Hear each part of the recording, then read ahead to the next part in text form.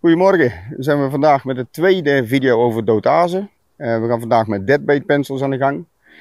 Uh, dat is een mooie combinatie van statisch doodazen met de dobbervissen. En daar gaan we in deze video natuurlijk veel meer over vertellen. En uh, nou, hopen dat er een paar mooie vissen op de kant komen.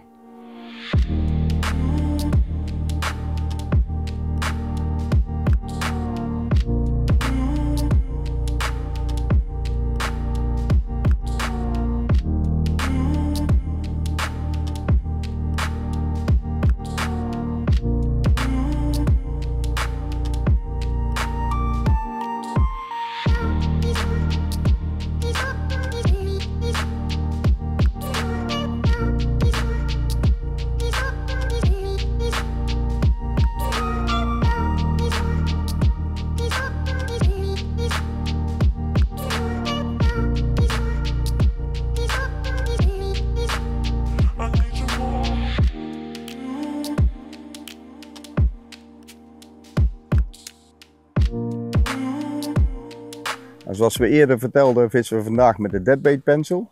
Uh, statisch dus, met een dobber. Uh, hoe ziet die montage er nu uit? Zoals bij elke statische visserij vissen we met een takel, oftewel twee dreggen. Aan een lange onderlijn, daar vertel ik zo dadelijk waarom dat, dat is. Verder een stuk lood om de boel op zijn plaats te houden, wat heel makkelijk moet schuiven. En een dobber, die we door middel van een stuitje en een kraaltje op een uh, bepaalde diepte afstellen. We vissen hier vandaag op een stilstaand water, het zeer plantenrijk is. Vandaar dat ik met een zeer lange onderlijn vis. Uh, met gewoon uh, een takel, twee dreggen dus. waarom is deze onderlijn nu zo lang? Nou, dit, dit lood zakt natuurlijk bij het inwerpen meteen tussen de planten. En we willen niet hebben dat die aasvis ook helemaal mee de plant in wordt getrokken. Dus door die onderlijn van bijna een meter in dit geval, ligt die aasvis mooi op bovenop de planten. Uh, verder is het lood bevestigd aan een rundering, zodat als de aasvis gepakt wordt door een snoek, dat hij helemaal niks voelt en dit lekker soepel er doorheen blijft schuiven. Want uh, ja, zoals ik al zei, ligt het vaak helemaal tussen de planten. De deadbait pencil wordt zoals elke dobber met een stuitje en een kraaltje op de gewenste diepte gezet. En in dit geval uh, zet je hem dan nog een half meter tot een meter dieper dan dat het daadwerkelijk is.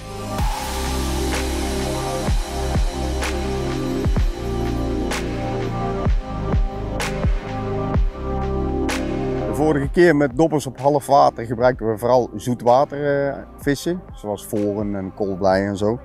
Uh, voor deze statische visserij gaat mijn voorkeur uit naar, het, uh, naar de zoute vissen, de zeevissen. Uh, vooral ook omdat die natuurlijk een hartstikke mooi oliespoor en een geur afgeven. ik heb hier allemaal aasvissen van Prebaits, hartstikke vers. In dit geval hebben we spiering, horstmakreel, haringen en makrelen bij. Die hebben we natuurlijk niet allemaal nodig vandaag. Maar het is wel fijn om een keer een andere aasvis te kunnen uitproberen. Dus vandaar dat alles netjes koel en vers wordt gehouden in die deadbait bag. Zodat uh, wat je niet gebruikt hebt ook gewoon vanavond weer de diepvries in kan.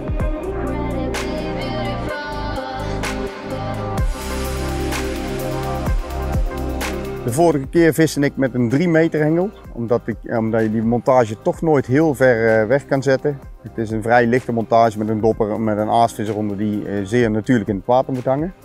In dit geval vissen we dus op afstand, of kunnen we op afstand vissen.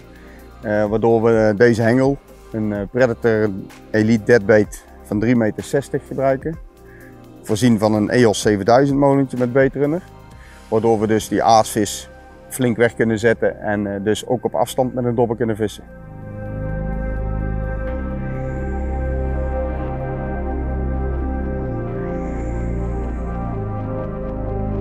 Wat is dat vissen met die deadbait pencils nou eigenlijk? Het is uh, gewoon een statische visserij zeg maar, maar dan met behulp van een dobber, zodat je toch visueel ook je aanbeet uh, ziet. Ehm, we hebben twee verschillende dobbers voor. Een ongelode versie in de L en XL variant en een voorgelode versie in de medium, large en extra large variant. het voordeel van de voorgelode versie is, bij wilder weer, dus wat meer wind op het water of bij het vissen vanuit de boot, dat deze dobber uit zichzelf al een klein beetje laat staan. Stel je deadbait pencil een halve meter tot een meter dieper af dan het daadwerkelijk is, je zult zien dat na het ingooien en als de boel allemaal op de bodem ligt, dat je dobber plat ligt. Als zodra je je lijn strak gaat draaien in de steun, dat je dan je dobbertje mooi recht gaat staan. het grote voordeel op deze manier statisch vissen is dat je natuurlijk de aanbeet ziet op je dobber. En die zal of compleet plat vallen of rustig weglopen. En ja, het is toch een, maakt het een heel stuk mooier.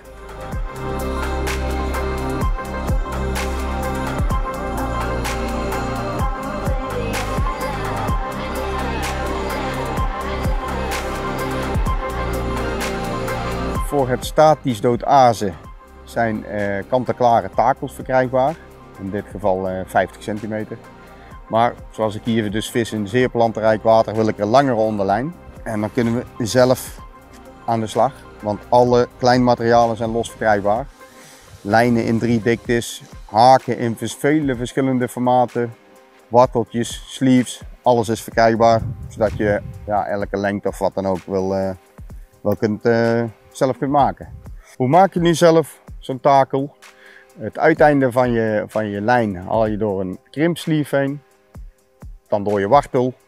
Weer terug door de krimpsleeve en knijp je aan met je tang. Dan schuif je een sleeve op de lijn die je netjes over je wartel heen schuift, zodat de boel mooi bedekt en netjes afgewerkt is en even verwarmd. Het andere uiteinde doe je circa 15 centimeter van het einde. Dan schuif je er eerst een rubberen sleeve op, haalt hem door een krimpsleeve, door, door het oog van de wartel, terug door de krimpsleeve heen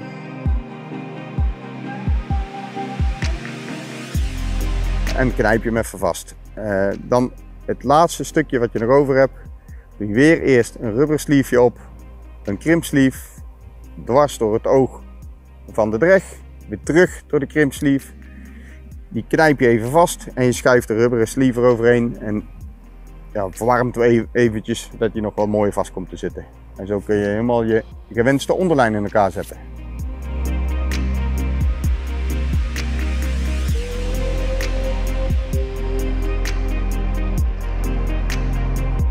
Naast het vissen vanaf de kant kun je natuurlijk ook prima met de deadbait pencils vanaf de boot vissen. Ik zou dan wel altijd de voorgelode versie gebruiken, omdat die boot nooit helemaal stil ligt door de wind en zo. Um, zie de link hierboven voor meer informatie daarover.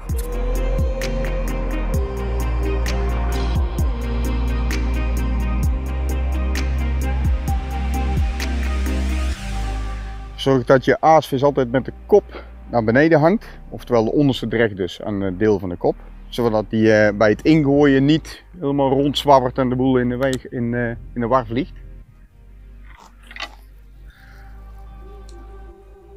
Net na het ingooien zie je dat die dopper natuurlijk plat blijft liggen. Komt omdat die een stuk dieper staat dan dat, die, uh, dan dat het daadwerkelijk is.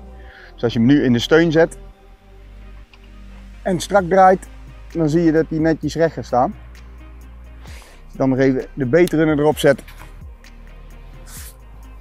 En de beetmelder aanzet. Dan uh, zijn we klaar voor de snoek.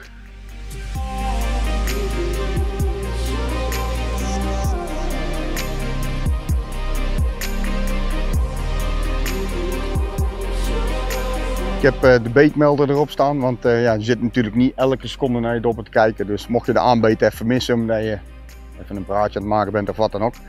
Dan hoor je toch dat je een aanbeet krijgt. En verder natuurlijk de beetrennen erop, dat hij vrij kan gaan. En dat hij helemaal geen weerstand voelt en uh, lekker weg kan zwemmen met de aasvis.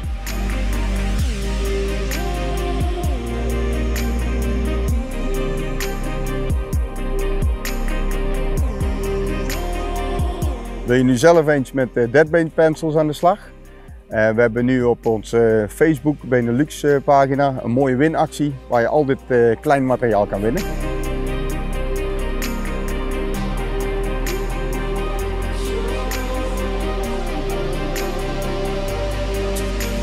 Nou, we zijn weer aan het einde gekomen over deze video over het statisch doodazen met de deadbait pencils. Um, de volgende video gaat ook over statisch doodazen, maar dan zonder de dobbers. Um, heb je nu vragen over deze visserij, dan laat ze even achter onder deze video. Uh, vergeet je niet te abonneren op ons YouTube kanaal. En vergeet deze video vooral niet te liken. En tot de volgende. Houdoe!